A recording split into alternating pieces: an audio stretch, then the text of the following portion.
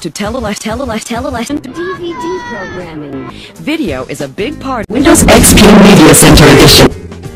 This guide will help you make every television program and every movie you see look even better.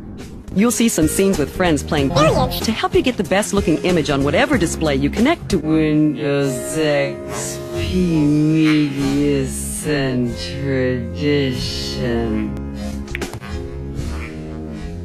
Setting up your system with this guide is easy.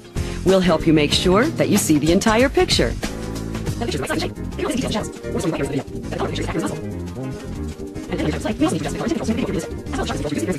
The lighting in your room is one factor that affects video quality. Spend a minute right now to see if there are any reflections in your monitor, possibly from a window or a light in the room. We'll darken the image on screen so that you can look for reflections in your display.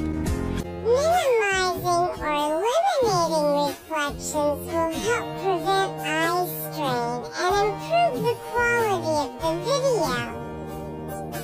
Necessary in the light. Or cover a window to reduce reflections on your screen. The Display Calibration Wizard is designed to help you get great looking video on all the displays where you use Windows XP Media Center Edition. You'll be asked to choose the type of display that you want to calibrate.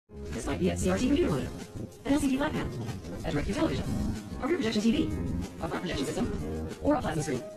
The Media Center Display Calibration Wizard is all about helping you get the best results from your media equipment.